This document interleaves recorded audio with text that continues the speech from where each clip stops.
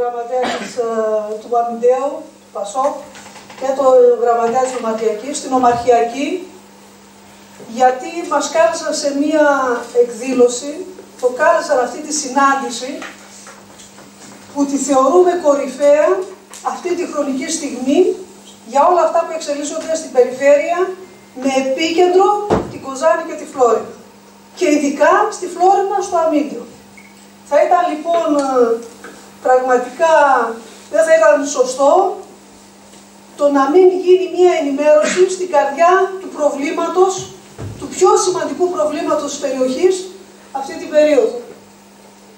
Διάλεξα επίτηδες μία α, διαφάνεια από μία ενημέρωση, γιατί αυτή την ενημέρωση ξεκινήσαμε και στην περιοχή του ορυχείου Πτολεμαΐδας, στην καρδιά εκεί της απολυντοποίησης, όπως είμαστε και εδώ στην καρδιά, στους πυρήνες των ζωνών απολυντοποίησης, γιατί θέλαμε να καταλάβουν οι άνθρωποι όλο αυτό το, όλο αυτό το έγκλημα κυριολεκτικά που έχει στηθεί στις πλάτες αυτής της περιοχής και των ανθρώπων της.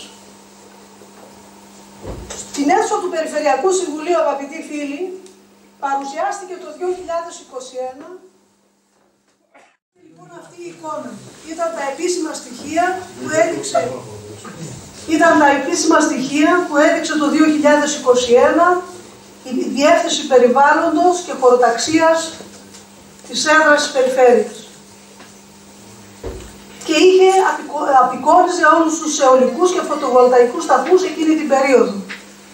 Μας έδειξε ο υπεύθυνος της περιοχής ένα μικρό χωριό, τα Λιβερά, που είναι, εδώ το βλέπετε, πώς είχε το κέντρο, εκεί που είναι η κόκκινη κουκίδα, πώς είχε περικυκλωθεί από φωτοβολταϊκά, τα οποία ήταν τα μπλε με άδεια παραγωγής, τα κόκκινα υποαξιολόγηση, ήδη το 21. Μας έδειξε επίσης και τις λίμνες, φωτοβολταϊκά στις λίμνες, πολυφύτου. Κάλυπταν τα τρία πέμπτα της λίμνης. Σισανίου, Κολχικής, πρόσφατα ήρθε ε, η, ενημέρωση ότι έρχεται και η αντισιοταμίευση στη λίμνη Βεγορίδιδα, περιοχή Νατούρα και αυτό είναι προφανώς απαγορευμένο και μπορεί να μας προκύψει κάποια νομοθεσία σαν αυτές που επέτρεψαν να γίνουν αυτά στις άλλες λίμνες. Ήταν λοιπόν προφανές ότι στην περιφέρεια εξελισσόταν ένα γιγαντιαίο project που ξεπερνούσε κάθε έννοια περιβαλλοντικής προστασίας και χωροτακτικής πολιτικής. Σε εκείνη τη φάση, επειδή προέκυψαν άλλα 182 έργα μεγάλα και ακόμη τότε άρχισαν να δίνονται και οι άδειες ε, και για τα ορυχεία της ΔΕΗ, Ήδη τον Οκτώβριο του 2022 είχαν προσθεθεί άλλα 180 έργα στην εικόνα που σας έδωσα και σε εκείνη τη φάση ήμασταν προσεγγιστικά στα 30 γίγα συνολικά στην περιφέρεια και σε 600.000 στρέμματα γης. Πριν έρθω εδώ προσπάθησα να επικαιροποιήσω αυτή την εικόνα και να δούμε την πραγματική εικόνα σήμερα από τα επίσημα στοιχεία της ε, ΡΑΕ, της Ρυθμιστικής Αρχής Ενέργειας. Σήμερα έχουμε με άδεια παραγωγής, άδεια εγκατάστασης και άδεια λειτουργίας αυτά τα 14,3 γιγαβάτ και σχεδόν 400.000 στρέμματα, 380.000 στρέμματα από φωτοβολταϊκά και ολικά. Αυτό που θέλω να κρατήσετε από αυτήν την, γιατί οι αριθμοί δεν μένουν, αλλά 400.000 στρέμματα και 14,3 γίγα είναι αυτή τη στιγμή σε εξέλιξη στην περιφέρεια της Μακεδονίας. Αυτό που βλέπουμε αυτή τη στιγμή, γιατί άδεια λειτουργίας και άδεια εγκατάστασης έχουν μόλις τα 43.000 στρέμματα. Είναι μόλις το 1 πέμπτο αυτό που θα ζήσουμε όταν αυτά εδώ ολοκληρωθούν. Ήδη μας φαίνονται ότι αυτό που γίνεται, ότι ζούμε ανάμεσα σε γελιά. Φανταστείτε όταν θα πενταπλασιαστεί αυτή η εικόνα. Άρα λοιπόν είμαστε σαν περιφέρεια και θέλω να έχετε αυτή την εικόνα πού βρισκόμαστε και εδώ έκανα μία, το ίδιο είχα κάνει και όταν πήγαμε και στην Κοιλάδα, πέρα από το περιβαλλοντικό, πέρα από τις επιπτώσεις που θα έχει στην, στους άλλους παραγωγικούς κλάδους στην περιφέρειά μας, ε, έκανα και μια προσέγγιση κόστους, γιατί ως περιοχή πρέπει να πούμε και να πούμε σε αυτούς που παίρνουν αυτές τις αποφάσεις και τι χάνουν. Αν λοιπόν από αυτά τα 400.000 σχεδόν στρέμματα, τα 200.000 στρέμματα είναι παραγωγική γη, η περιφέρεια αν τα καλλιεργούσε σε διάφορες καλλιέργειες, από μαλακό, σιτάρι, μυδική, σόγια, οπορώνες, με στρεματικές αποδόσεις του 2022 θα χάνει, ας πούμε για οπορώνες που έχει η περιοχή παράδοση 1,3 δις το χρόνο και 33,7 δις αν ήταν όλα αυτά οπορώνες, έτσι. Κατά μέσο όρο, που δεν θα γίνουν όλα οπορώνες, προσπάθησα να κάνω ένα μέσο όρο, η περιοχή χάνει για 25 χρόνια 13,5 δις και περίπου 540 εκατομμύρια ευρώ το χρόνο σαν περιφέρεια. Μόνο τα μισά να είναι παραγωγική γη, που ακόμη δεν ξέρει κανείς πώς είναι η παραγωγική γη. Θα το πούμε μετά. Άρα λοιπόν, εδώ είναι ξεκάθαρο αυτό που είπε η Παγκόσμια Τράπεζα όταν ήρθε στην περιφέρεια να μελετήσει με εντολή της Ευρωπαϊκής Ένωσης πώς θα ζήσει αυτή η περιοχή όταν θα κλείσουν τα εργοστάσια. Και ονομάτισε τα ορυχεία τον κοιμόμενο γίγαντα για την ανάπτυξη περιοχής. Και εννοούσε ακριβώς αυτό. Τα χρήματα που μπορεί να κερδίσει η περιοχή σε βάθος χρόνου, σε αυτή την 25 ετία και κυρίως αυτό το ποσό που βλέπετε εδώ είναι δύο φορές, τα 13,5 δις είναι δύο φορές που, το ποσό που είπε το Τεχνικό Επιμελητήριο Ελλάδος ότι χρειάζεται η περιοχή για να ξαναπάει να αποκτήσει το ΑΕΠ που είχε το 2012. 6,5 δις πρέπει να πέσουν στην περιοχή για να φτάσουμε εκεί που ήμασταν το 12. Το είπε, το είπε ο σύμβουλος του κράτους, το τεχνικό επιμελητήριο.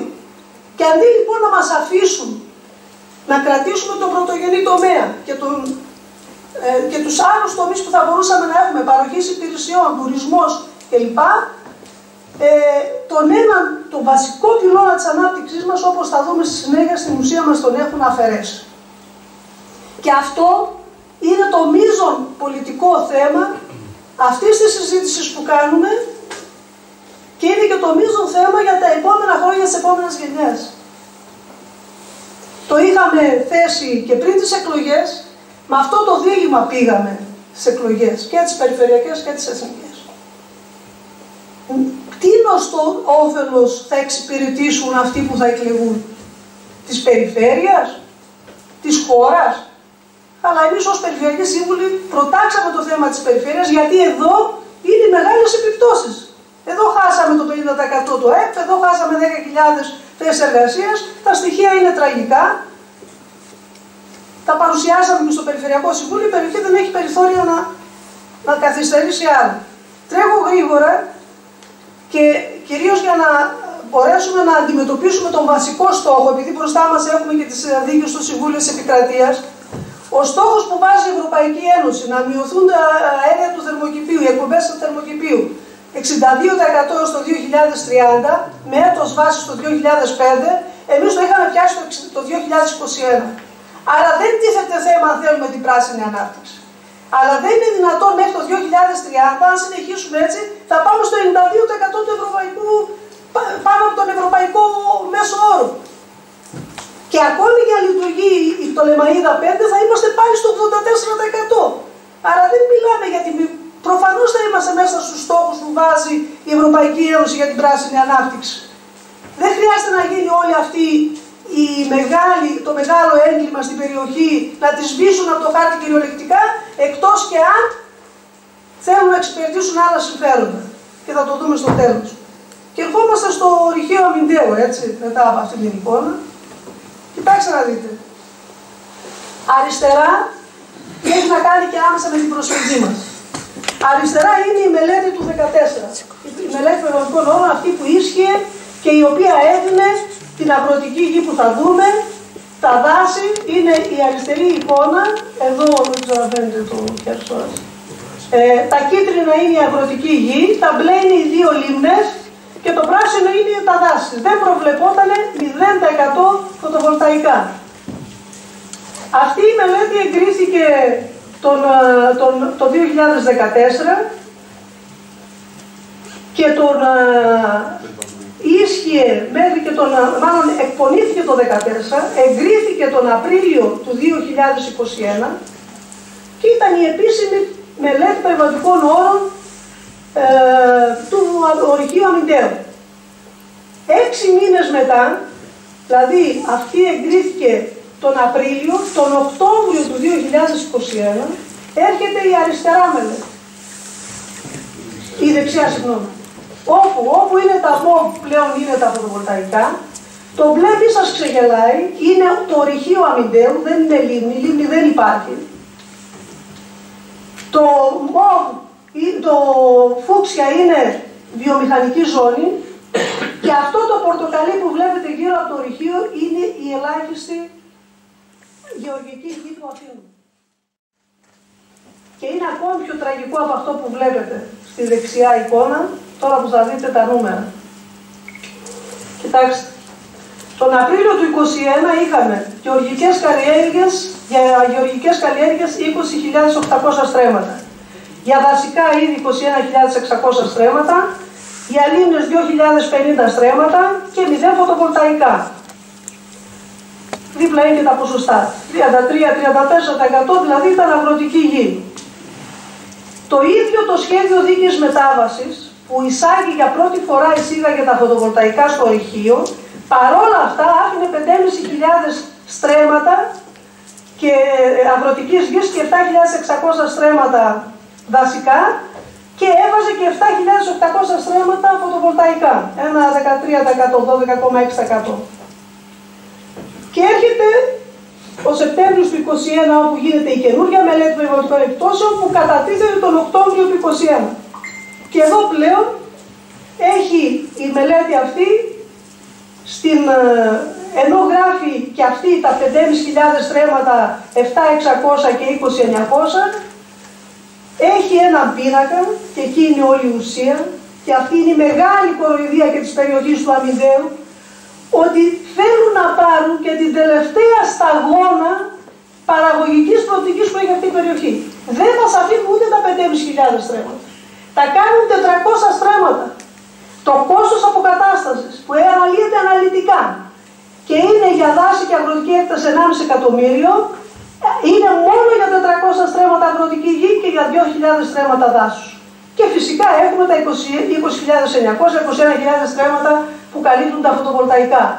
Είναι μια τέλεια αντιστροφή και μια πλήρης εγκατάλειψη του ορυχείου αμυντέου που θα μπορούσε να είχε δώσει αυτή την έκταση για, για αγροτική παραγωγή. Και θέλω να δείτε λίγο και το, και να καταλάβουμε καταρχήν γιατί μέσα σε πέντε μήνες ακυρώθηκε η μελέτη περιβαλλοντικών επιπτώσεων και η περιβαλλοντική όρη που βγήκανε τον Απρίλιο του 2021.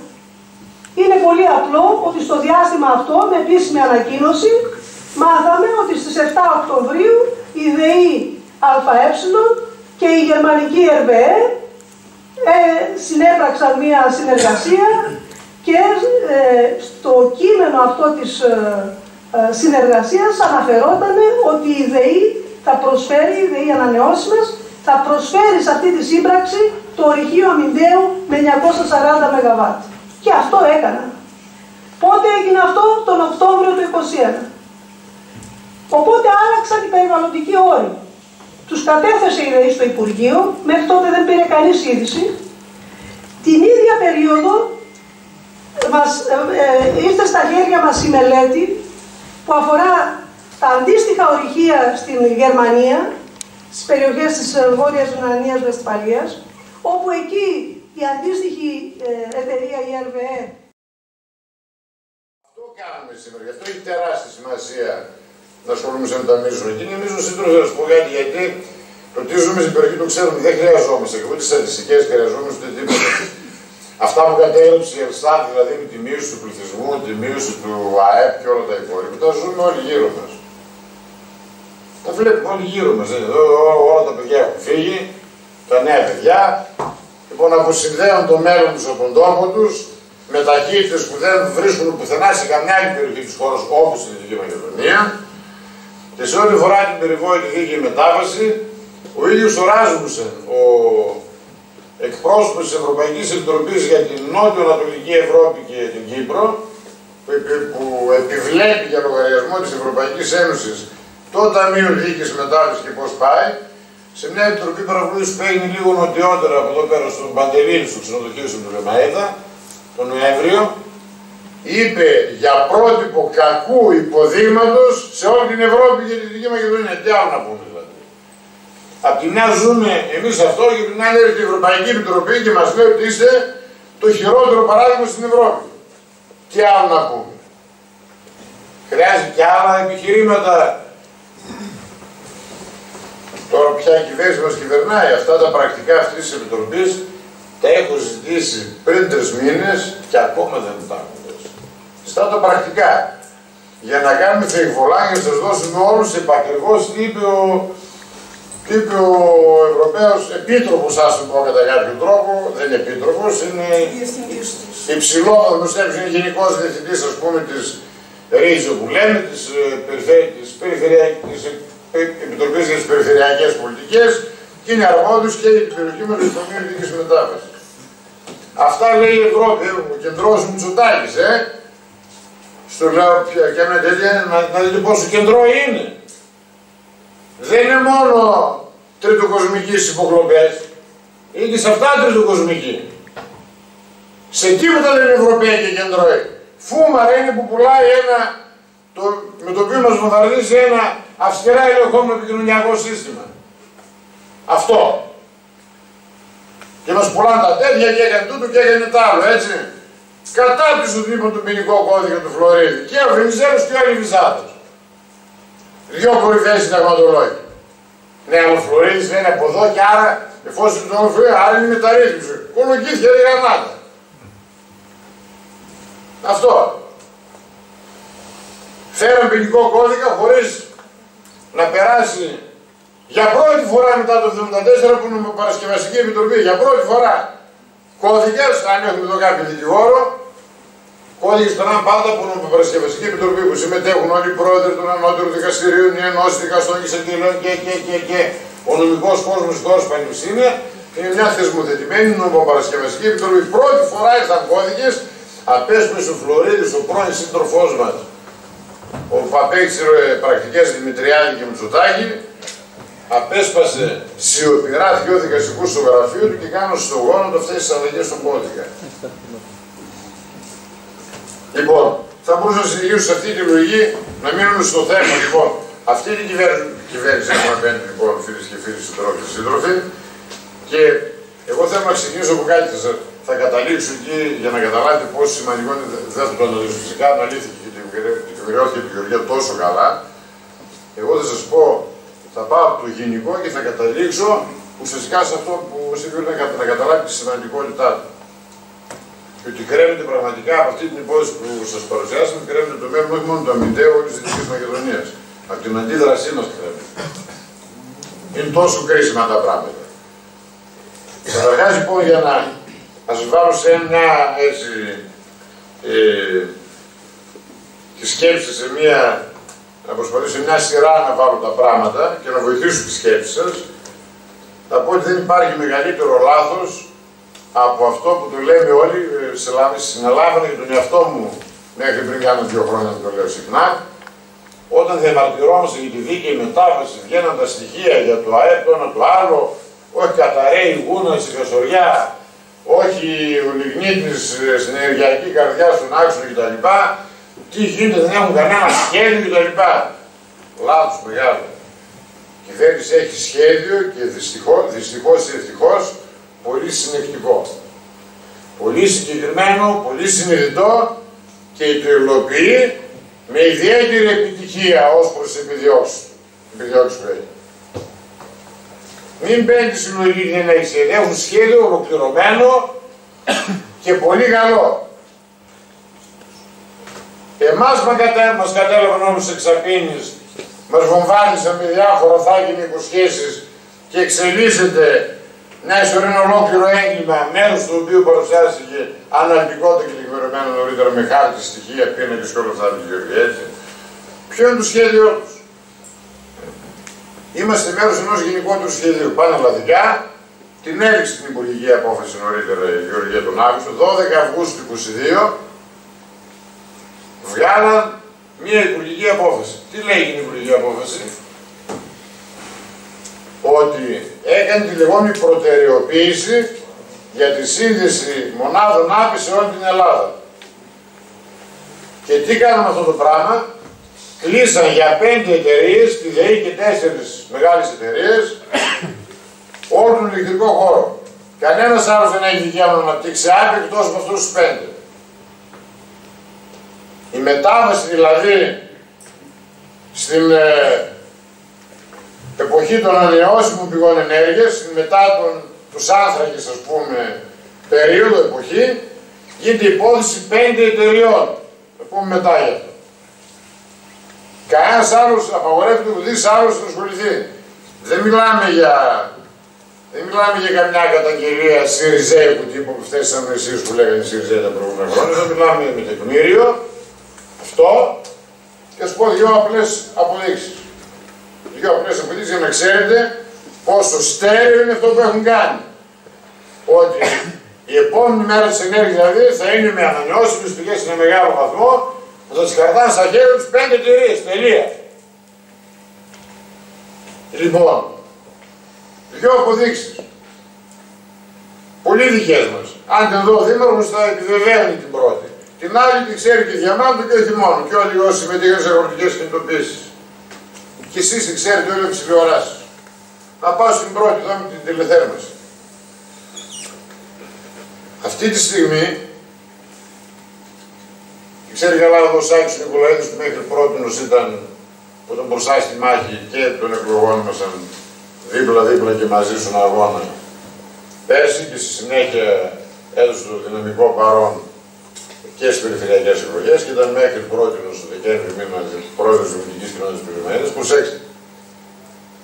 Τηλεθέρμανση Πυρομαίδα που πιάνει ουσιαστικά και το αμήνιο αυτό θα πω έτσι. Ήταν συνδεδεμένη με την Πυρομαίδα 5 καθυστερεί συνειδητά η κυβέρνηση του Λεμαίδα 5 να ξεκινήσει, γιατί επί τρία χρόνια μελετούσε να την μετατρέψει σε αερίο και να λειτουργήσει κατευθείαν με αέριο. Πάει πίσω λοιπόν τρία χρόνια, επειδή κάνει αυτό το κενό και αποσύρει το Άρης Καρδιάς που ήταν συνδεδεμένη η Πελεμέδα και το αμύντιο αποσύρεται το αμύντιο, το ξέρετε, ναι. Λοιπόν, λέει θα βάλουμε, εδώ έγινε μια ιστορία για γέλια, ας πούμε, τα έχουμε ε, βιομάζες και τα λοιπά, που, που δεν είναι επαρκή. Υπάρχει τόση συνδέση της ηλεκτρομάζης και όλα αυτά. Λέει η ηλεκτρική λέγεται στο ενδιάμεσο μέχρι να λειτουργήσει αυτό. Το κόστος το καλύπτει κάθε λογαριασμός. Το Ταμείο Δίκης Μετάφραση συγκεκριμένο. Α πω ο κρατικός προϋπολογισμός δεν είναι, το Ταμείο Δίκης Μετάφραση. Κάνουμε μια σύσκεψη λοιπόν για τις ηλεκτρομάζες, ήμουν εκεί όταν και ο Δήμαρχος εδώ πέρα ο Γιάννης, και το λέμε εδώ, Κοζάνης, όλοι ας πούμε, ανακοινώνει ΔΕΗ με ύφους 100 καρδιναλίων, η Πτολεμίδα λέει χρωστάει 115 εκατομμύρια ευρώ. Γιατί πανάκριβο το ηλεκτρικό καζάνι. Και μέχρι το τέλος σεζόν περίπου 135. Πετυχαίνω εγώ και ο Δήμαρχος φυσικά δεν με ρωτήσει, λέω, μην δεν χρωστάει τίποτα, εσείς χρωστάτε λέω στη ΔΕΗ, γιατί αυτό είναι ο νόμος. Λίγο πριν τελειώσει Αρχίζει Κυλαγιάννης, γνωστός για τις νεοφιλελευθερίζουσες απόψεις του, έτσι. Είναι από το κομμάτι εκείνου της Νέας Δημοκρατίας που είναι πολύ κοντά στον νεοφιλελευθερισμό, δεν το συζητάω, ο Σκυλαγάκης. Αντιδρούσε πώς είναι δυνατόν να δώσουμε 135 εκατομμύρια επιδότηση σε μια δημοτική επιχείρηση που έχει κύκλο εργασιών 6 εκατομμύρια σάκι του χρόνου και τέτοια πράγματα. Ζητάω το λόγο λίγο πριν την τελειώσει και λέω: Υπουργέ, έχω μια ωραία πρόταση από το Ταμείο Δίκης Μετάβασης, δεν είναι αυτά που λένε όλοι εδώ να πάνε αυτά τα λεφτά. Έχουν μια πρόταση ωραία, λέω για τον Λεμαίδα ε, Αμίντιο και, και συνέχεια για την Κοζάνη. Να σας ακούσω. Λέω, κοιτάξτε, 135 εκατομμύρια πρέπει να δώσει το Ταμείο Δίκης Μετάβαση για επιχορήγηση λειτουργική. Εγώ μαζί σου είμαι, είναι λάθος. Να το λέω νόμος. Εγώ του λέω, προτείνω να δώσουμε 90 εκατομμύρια να κάνει 150 ΜΒ με αυτά ο Δήμος 150 ΜΒ φωτοβολταϊκά σε τρία χρόνια έχει δώσει πίσω όλη την ηλεκτρική ενέργεια που κατανάλωσε και τα επόμενα 27 χρόνια το Λεβίδα και το Αμύντιο θα έχουν όλη την ηλεκτρική ενέργεια για το Δήμο, τη δημοτική επιχείρησή τη αποχέρωση, τη τηλεθέρμανση, τα πάντα όλα. Θα δώσουν και σε αγρότες και τα λοιπά. Και αν μας δώσεις 500 σε όλους τους Δήμους, στη Δυτική Μακεδονία, Όλοι οι Δήμοι θέλουν εξυπηρετήσει κλπ.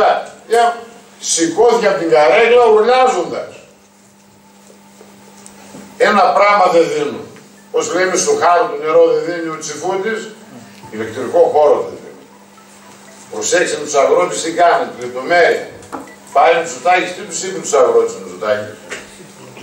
Θα σας δώσω διμερή συμβόλαια με τις μεγάλες εταιρείες, εγγυόμενοι ότι θα έχετε 8,5 λεπτά το ρεύμα, το ρεύμα, έτσι, με διμερή συμβόλαια, τα PPA στα λεγόμενα που είναι για τη βιομηχανία, πάλι έχουν κέρδος αυτά, έτσι, γιατί το καταλάβει της δημοπρασίας αυτά είναι 3,8 λεπτά που λέει το ρεύμα και θα έχει άλλε επενδύσει να πάρουν τόσο και λίγο παραπάνω, αλλά δεν είναι και το θέμα. Και όταν του αντιπροτείνει αγρότη και γιατί δεν μας δίνεις εδώ το παράγουμε εμεί, όχι λέει. Εσείς να παράγετε θέλετε με μπαταρία και να το αποθηκεύετε. Δεν αφήνει να κουμπώσει Ούτε στο χάρο του δεν αφήσει να κουμπώσει πάνω στο δίκτυο. Είναι οι πέντε αδερφές. Τελείωσε. Οι πέντε αδερφές. Αυτό είναι το σχέδιο. Και τι κάνουμε στο ενδιάμεσο; Αυτές οι πέντε αδερφές εταιρείες διαχειρίζουν το φυσικό αέριο, το οποίο αντικαθιστά το λιγνίτη, είναι οι εταιρείες ακριβώς. Αυτοί που κάνουν εισαγωγή και παραγωγή με φυσικό αέριο, είναι αυτοί που θα έχουν μετά τις άπες στα χέρια. Όπως θα σου πω μετά, πουθενά στην Ευρώπη δεν γίνεται αυτό. Σε τριτοκοσμικές πρακτικές. Είναι τριτοκοσμικά πράγματα, ξέρετε. Έτσι. Πουθενά δεν συμβαίνει αυτό το πράγμα. Και μάλιστα είναι τόσο ανερυθρίαστη και δεν τρέπονται που στο νέο εθνικό σχέδιο για την ενέργεια και το κλίμα, ξέρετε τι έχουν βάλει μέσα. Δεν, δεν τρέπονται. Λέει ότι αφήνουν να κατασκευαστούν άλλες δύο μονάδες φυσικού αερίου και ενώ θα έχουν περισσότερη ισχύ από μονάδες φυσικού αερίου, θα παράγουν μετά από τρία χρόνια από σήμερα και μέχρι το 35, 38, 40 που πρέπει να γίνει πλήρης επανδρομή, θα, παρά, θα, θα δίνουν λιγότερο ρεύμα στο δίκτυο, γιατί δεν το χρειαζόμαστε. Θα παράγουμε από άπη πολύ περισσότερο, άρα δεν το χρειαζόμαστε. Και λέει, πρέπει από τώρα να προβλεφθεί λέει, ένα τέλος, ένας νέος φόρος για να αποζημιωθούν οι παραγωγοί με τις μονάδες φυσικού αερίου. Έτσι γίνομαι και εγώ καπιταλιστή. Καταλαβαίνετε γιατί, γιατί, γιατί χοντράχας μιλάμε. Γιατί σκανδαλώδεις προβλέψεις μιλάμε. Οι μονάδες που κατασκευάζουν οι με φυσικού αερίου πρακτικά δεν θα παράγουν και έχουν από τώρα ζητάνε να μας επιβαρύνουν νέους φόρους για να τους αποζημιώσουν. Τα λέει φαρδιά πλατιά στο εσέ. Και δεν κουνιέται φίλο. Γιατί αυτοί που έχουν τα μέσα είναι αυτοί που έχουν πάρει τις άδειες. Τόσο απλά. Για να καταλάβει γιατί πρέπει να κινητοποιηθούμε. Αυτό είναι το έργο που παίζεις στην Ελλάδα.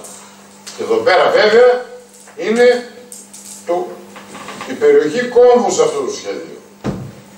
Πρώτον, μην έχεις καμιά απορία γιατί αποσύρεται βίαιο και άλλων άλλων λιγνίτη από το προσκήνιο. Πουθενά στην Ευρώπη δεν υπάρχει αυτό το προδιάγραμμα. Ούτε στη Γερμανία, ούτε στην Πολωνία, πουθενά. Πουθενά δεν υπάρχει τέτοιο χρονοδιάγραμμα το 28 να είναι το τελευταίο κιλό λιγνίτη που θα καεί σε λέγει. Δοκιμάζει όταν μιλάνε για το 5 και η Μελή και έχει καλές αποδόσεις. Είναι το 5 είναι άλλη γενιάς. Είναι η πιο σίγουρη μονάδα σε όλη την Ευρώπη. Έχει φοβερούς βαθμούς απόδοσης. Λοιπόν, και την κλείνουν το 28 στη λιγνητική και την μετατρέπουν σε μονάδα αερίου και αυτή. Για ποιο λόγο, τις αποσύρουν όλες τις άλλες άρων άρων, γιατί θέλουν τα καλώδια υψηλής και υπερυψηλής τάσης για να κουμπώνουν να κουμπώνουν τις ανανεώσιμες πηγές ενέργειας. Και γιατί είχε τέτοια πρεμούρα, γιατί από τις μέχρι τώρα αδειοδοτημένες, προσέξτε, αυτή τη στιγμή η Ελλάδα έχει στόχο το 2030 να έχει 30.000 ΜΒ, 30 ΓΒ άπε. Από αυτά είναι αδειοδοτημένα μέχρι τώρα τα 28.000, 28 γίγα. Από τα 28 γίγα είναι τα 7 στην Δυτική Μακεδονία ήδη που τρέχουν και τρέχουν στην άλλα 7 που σας είπε Γιώργη που είναι 14. Κανείς δεν ξέρει ποια θα είναι η τύχη τους, ποια από αυτά θα φτάσουν ως το τέλος. Τα 7 έχουν κλειδώσει, 7 και κάτι, 7,2,3 είναι κλειδωμένα για να γίνουν. Δύο από αυτά είναι DRV. Το ένα είναι στο αμύντιο, έτσι. Λοιπόν, προσέξτε δηλαδή, για να θέλω να καταλάβει λίγο τη μεγάλη εικόνα. Δηλαδή η Ελλάδα θα κάνει, αυτή τη στιγμή έχει 28 γίγα αδειοδοτημένα, εγκεκριμένα, έτσι, και τα 7 στη Δυτική Μακεδονία, δηλαδή το 2,5% του πληθυσμού που είμαστε εμείς της Ελλάδας όλοι μαζί, καλούμε να σηκώσουμε το βάρος από το 25% των άτομων που θα αναπτυχθούν.